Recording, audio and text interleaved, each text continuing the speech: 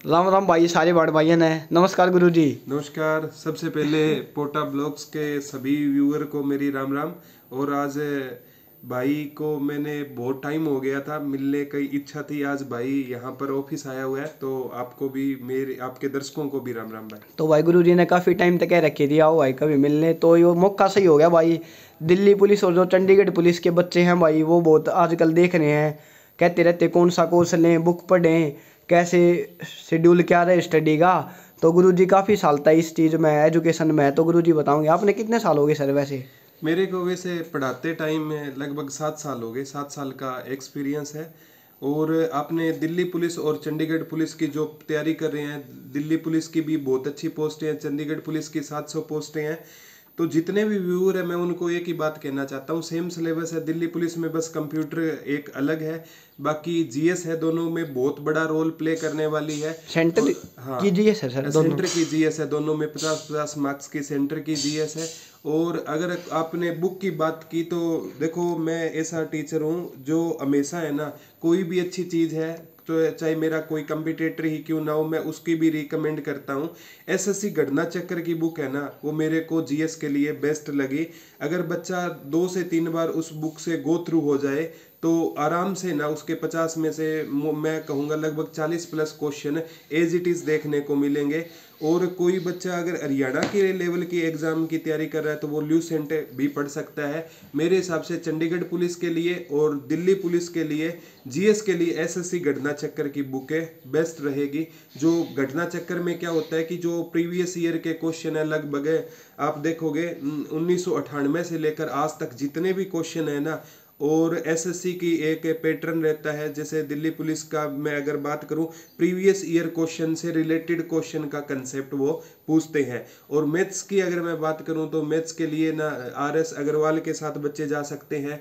या राकेश यादव सर के साथ जा सकते हैं। तो ये, और रीजनिंग की मैं बात करूँ तो रीजनिंग की सिकवाल पब्लिकेशन की एक अच्छी बुक आती है एस चंद की अच्छी बुक आती है। वो तो बच्चे पे डिपेंड करता है कि वो पढ़ता कैसा है, और आजकल कंपटीशन का दौर है।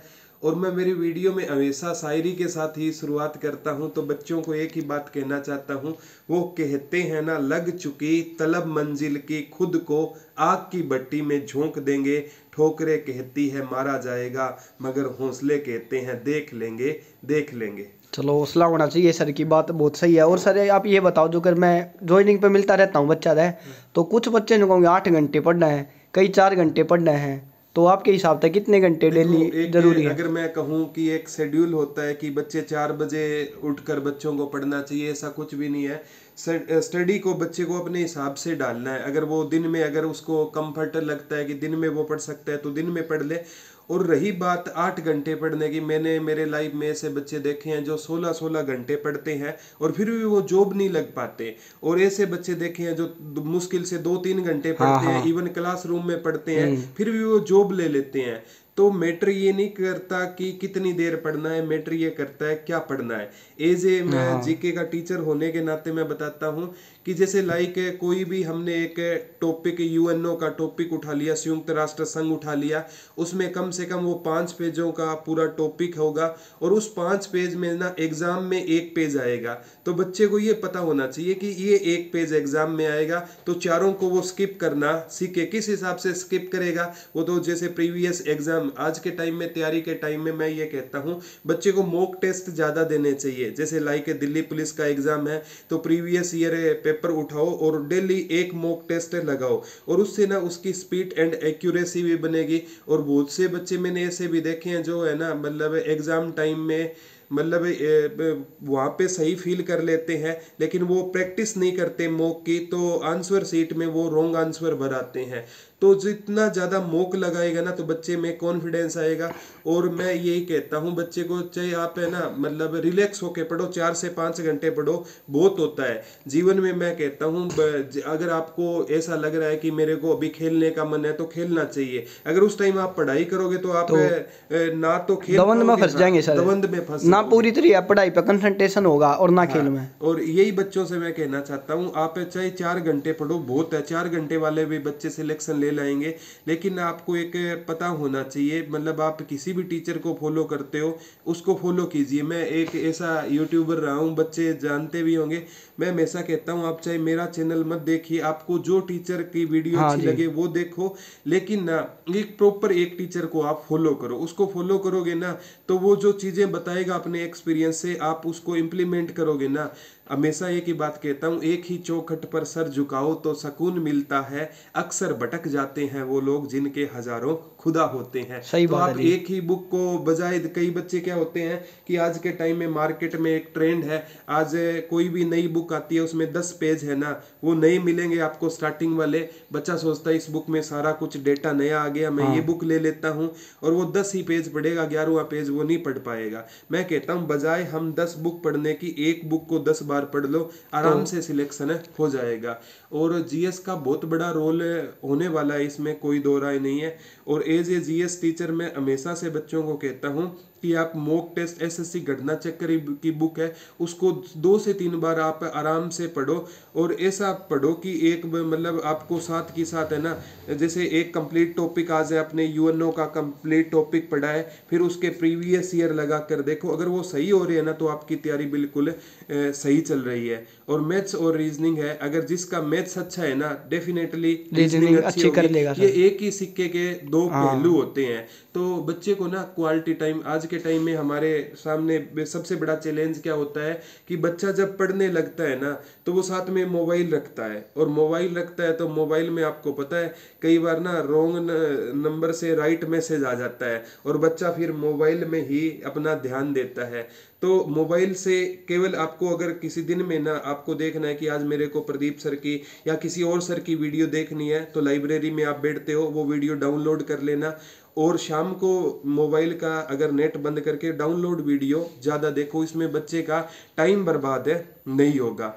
और जब भी पढ़ने बैठे हो ना तो दिमाग में मतलब ये रहना चाहिए कि मेरे को पढ़ना है धोखा नहीं देना है कि मैं मतलब कई बच्चे ऐसे होते हैं कि मैंने देखे हैं कि सर मैं चार घंटे पढ़ता हूँ तो वो घड़ी देख कर पढ़ते हैं। हाँ। इंसान को मतलब ये होना चाहिए कि मैंने मैं अपने आप को धोखा ना दूँ। हाँ कि ये चीज़ ना हो जी मैं मतलब कहना था भाई आठ आठ घंटे पढ़ा फिर भी ना होया। कि हाँ, जब उसका मूड हो और जब पूरी तरह अंदर तक पढ़ना चाहता हो तभी पढ़े। तभी हाँ, पढ़े कोई। टाइम नहीं है चार बजे पढ़ो पाँच बजे पढ़ो जब उसका दिल करे पढ़ो। हाँ। लेकिन मैथ और रीजनिंग ये प्रैक्टिस के बगैर नहीं आएगी। आप प्रैक्टिस सेट ज़्यादा से ज़्यादा लगाइए और कोई भी आपको एक अध्यापक अच्छा लगता है लाइक राकेश यादव या अभिनय शर्मा कोई भी मैथ्स का टीचर अच्छा लगता है तो उसकी वीडियो देखिए। लेकिन एक को फॉलो करोगे तो मेरे हिसाब से आपको ज़्यादा बेनिफिट मिलेगा। मेरे तभी पूछते हैं सर बच्चे जो अगर मेरे तभी भाई कौन सा बेस्ट मगर भाई बेस्ट कोई भी नहीं है धरती पे। आप अपना देखो आपने किसका जल्दी समझो आप कौन सी चीज़ ज़्यादा पकड़ रहे हो? वो ही बेस्ट आपके लिए है। नहीं वो क्या होता है कि एक बच्चे का जुड़ाव होता है। देखो कई अध्यापक ऐसे होते हैं जिसके पास बहुत ज़्यादा नॉलेज होती है लेकिन वो अपनी नॉलेज डिलीवर करता है ना तो वो मतलब कोई मेरे को पढ़ा रहा हो हो सकता है वो मेरे से बहुत अच्छा पढ़ा रहा हो लेकिन मेरे को वो समझ नहीं आ रही। फिर हाँ मेरे को उसका पढ़ने का कोई फ़ायदा नहीं है। हो सकता है कम नॉलेज वाला पढ़ा रहा हो सारी बातें समझ आ रही। कई बार वो भी हमें सिलेक्शन तक है ले जाता है। तो हमेशा ना मतलब आपको जो भी अच्छा लगे कोई एक टीचर को फॉलो मत कीजिए चाहे जो भी अच्छा लगे ना जहाँ से भी अच्छा लगे हरियाणा में या इंडिया में हर एक मतलब यूट्यूब चैनल को आपको सब्सक्राइब करना चाहिए। पता नहीं किस यूट्यूबर की कौन सी वीडियो आपके हित में हो जाए। और आपकी वीडियो तो देखो मेरे को भी पर्सनली बहुत अच्छी लगती है क्योंकि आपका जो रीजनल टंग है जैसे बेबे बोलना, भाई बोलना मतलब ये एक अटैच करती है। और ऐसा ही आप टीचर को फॉलो कीजिए, जिसकी आपको बोली अटैच करे, उससे ना आपको ऐसा भाव लगेगा कि ये अध्यापक मेरे सामने बैठा है और मैं इससे पढ़ रहा हूँ। चाहे आप मोबाइल में पढ़ रहे हो, उससे आपका जुड़ाव हो जाएगा। तो जो भी अध्यापक है, अध्यापक सभी अच्छे होते हैं। देखो, कोई भी पढ़ाएगा मैं अपनी ओर से हंड्रेड वन परसेंट देता हूँ, और भी अध्यापक अपने देंगे। तो आपको ये चूज़ करना है कि किस अध्यापक का पढ़ाया हुआ एग्ज़ाम में आ रहा है। यूट्यूब पर आप है ना, कोई भी एक सिंगल टॉपिक अगर आपने बाबर के बारे में सर्च किया है, कम से कम 500 वीडियो आ जाएगी अलग अलग अध्यापक की। अब आपको ये बिगेस्ट चैलेंज ये रहेगा कि कौन से अध्यापक का कराया हुआ एग्ज़ाम में आ रहा है, और ये एक्सपीरियंस से ही आएगा। अकल वही है बादाम खाने से आएगी नहीं ठोकर खाने से हाँ ज़रूर आएगी। सही बात है सर। और इसमें चंडीगढ़ पुलिस में इंग्लिश नहीं आती बताओ है। हाँ चंडीगढ़ पुलिस में तीन ही सब्जेक्ट रहेंगे। पचास नंबर की जीएस का पार्ट रहेगा और पैंतीस और पंद्रह में ये आपकी एक तो मतलब रीजनिंग रहेगी और एक आपका मैथ्स यानी दोनों पचास नंबर के आएँगे। और दिल्ली पुलिस का भी सेम सिलेबस है पचास की जीएस है लेकिन उसमें कंप्यूटर का थोड़ा सा जोड़ा गया है। और कंप्यूटर उसमें आएगा। कंप्यूटर के लिए आप ल्यूसेंट की एक छोटी सी बुक आती है साठ सत्तर रुपए की मार्केट में आ जाती है वो पढ़ लो बेस्ट है उससे बाहर कंप्यूटर कभी नहीं जाता चलो जी यह चीज़ अलग थी आपने यहाँ भी सोल्व कर दी कि भाई कंप्यूटर के लिए मैं पूछना चाहूँगा सवाल मगा उसके लिए आपने बुक बता दी। और इंग्लिश का क्या रोल है सर ये किसका? चलो आप मतलब इंग्लिश भी है इसमें दिल्ली पुलिस में। इसमें इंग्लिश का देखो रोल हमेशा यही रहता है कि इंग्लिश को पढ़ने के लिए आप एक प्लिन टू पैरामाउंट बुक आती है नीतू मैम की। आप किसी भी एस एस सी वाले बच्चे से टॉपर से किसी से पूछ लेना। हाँ इंग्लिश में उनकी बुक का कोई मुकाबला हाँ। नहीं है। देखो मैं अपनी जैसे कोई भी मेरे से पूछता है ना हरियाणा के लिए कौन सी बुकें पढ़े मैं कहता हूँ सभी बुकें होती है। राइटर अपनी ओर से बेस्ट लिखता है। हाँ आपको जो बुक अच्छी लगे ना वो एक ले लो। आपको सिलेक्शन से मतलब होना चाहिए ना कि बुक से। अच्छी हर राइटर अपनी ओर से अच्छी लिखता है। जिस बुक की आपको मतलब भाषा समझ आए वो बुक आप ले लीजिए। मैं भी सीजीएल वाले बच्चा एक जो कोई पर्सन है जिसने मेरे तक पूछी थी सीजीएल करना उसके लिए तो बताओ। तो इंग्लिश में ब्लैक बुक सुनी थी। हम्म हम्म। वो उन्हीं की है लिखी हुई? हाँ वो नीतू मैम की है। हाँ, तो- अच्छी रेड बुक के नाम से ब्लैक बुक के ये तो बच्चे उन्होंने बताया जिसने बताया वो कह रहा था कि भाई ब्लैक बुक है और वो कैब कर लेंगे वॉल्यूम टू या पता नहीं क्या English to Hindi volume two है नीतू मैम की। अच्छी बुक है। देखो मैं तो हमेशा कहता हूँ जो भी बच्चों के लिए देखो मैंने मेरी किसी बुक का नाम नहीं लिया। कहने का मतलब है कि हम है ना मतलब बच्चे को अच्छी से अच्छी चीज़ों के बारे में हमें बताना हम्म। चाहिए ताकि उसको फ़ायदा मिल सके सर।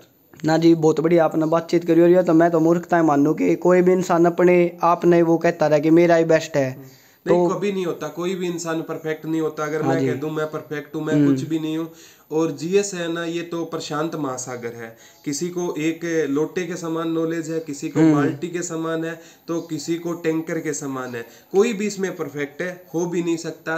और जो कहता है ना मैं परफेक्ट हूँ तो उस दिन ना उसके लेवल में गिरावट आनी शुरू हो जाएगी। मैं आज भी ना मतलब जब गुरुकुल फतेहबाद कभी आप विज़िट करना वहाँ पर जरूरतमंद बच्चों के लिए हमने गुरुकुल ओपन किया हुआ है। तो उस गुरुकुल में भी मैं बच्चों को एक ही बात है सिखाता हूँ कि बेटा आप आ रहे हो तो अपने मम्मी पापा को कभी धोखा मत देना क्योंकि आपको भी पता है कि कितना स्ट्रगल उन्होंने हमारे लिए किया है। पैसे पेड़ पे नहीं उगते और जो बच्चा आज है ना छह घंटे नहीं पढ़ सकता वो बारह घंटे मजदूरी करने के लिए तैयार रहे। मैं बच्चों से यही कहूँगा कि आज आप मेहनत कीजिए आपके मम्मी पापा आपको अ, मतलब अ, खुद के पैसे लगाकर आपको लैपटॉप चाहिए तो लैपटॉप दिला रहे हैं।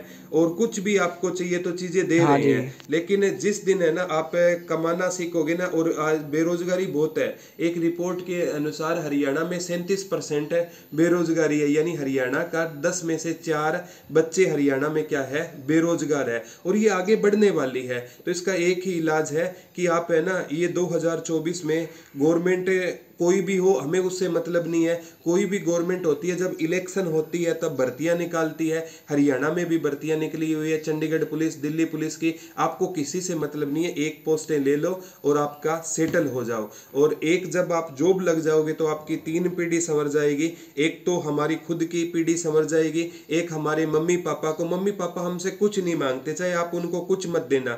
लेकिन वो फील करते हैं मेरा बेटा जॉब हाँ में लगा है और एक आपकी आने वाली पीढ़ी वो भी संवर जाएगी। आप अपने बच्चों को जिस स्कूल में चाहो उसमें पढ़ा सकते हो अच्छी उनको शिक्षा दे सकते हो। और एक जितने भी बच्चे हैं ना आज में लगभग गुरुकुल में प्रदीप भाई महीने में कम से कम 20 से 22 बच्चे जॉब लगे हुए वैसे भी मिलने आ जाते हैं। तो मैं उनसे एक ही बात कहता हूँ कि आप जिस भी प्रोफेशन में हो कोई भी काम ईमानदारी से करना। क्योंकि एक ईमानदारी ही वो चीज़ है जो औरों से आपको अलग अलग करेगी। और कोई भी काम करो सबसे पहले उसमें आपको अपना फ़ायदा ज़रूर देखना है। अगर हम अपना फ़ायदा नहीं करेंगे तो हम समाज का कभी फ़ायदा नहीं कर पाएँगे। पहले आप अपने बारे में सोचो। जॉब लगनी है तो पहले खुद की जॉब के बारे में सोचो ना कि मैं मेरे दोस्त को पहले जॉब लगा दूँगा। ऐसा नहीं होना चाहिए। ठीक है? खुद के बारे में आप सोचोगे तभी आप समाज में आज प्रदीप भाई अगर मेरे पास खुद के पास पैसे नहीं होंगे तो मैं किसी का किसी भला नहीं कर- सही बात है जी। अगर मेरे पास कुछ होंगे तो मैं अपने उस कुछ में से किसी के लिए आज हमने गुरुकुल खोल रखा है। अगर कुछ थे और ये सारा मेरा नहीं है ये परमपिता परमात्मा का आशीर्वाद है और बच्चों का प्यार है। जैसे कोई बच्चे कोई मतलब कोर्स खरीदते हैं उससे हमें जो इनकम आती है उसका कुछ परसेंट हमें बच्चों में लगा सकते हैं। जब हमारे पास ये चीज़ें होगी तब लगा पाएँगे अदरवाइज़ घर से कोई नहीं लगा पाएगा। चलो जी बहुत बहुत धन्यवाद। और सर एक बात और वो गुरुकुल में बच्चे जुड़ने के लिए वहाँ पे भी तैयारी चल रही है सर ये? हाँ गुरुकुल में भी बेच चल रहे हैं। फतेहाबाद में गुरुकुल है सर का और नाम मात्र फ़ीस पर सर तैयारी करावे हैं। कल ए, एक बंदे ने बताया था इस साल में आपकी बात करी तो वो कह रहे थे बहुत ही कम। और उनकी बात सुन रहा था दूसरा उसको हैरानी हुई बोले इतने कम बोले हाँ जी करा रहे तो उन्होंने ये भी बोला जो जो सुन रहे थे ना मेरे साथ तो यो भी कह रहे थे बोला काम क्यों कर चाल रहा उनका फिर? काम तो मैंने आपको अभी एक ही बात बोली है जो मतलब हमारे जैसे बुकें आती है जैसे लगभग हमारी खुद की दस प्लस बुकें आ गई है उससे रेवेन्यू आता है या दुरीना पे अपने पेड कोर्स है उससे रेवेन्यू आता है तो उसका कुछ परसेंट हिस्सा हमें वहाँ पर है।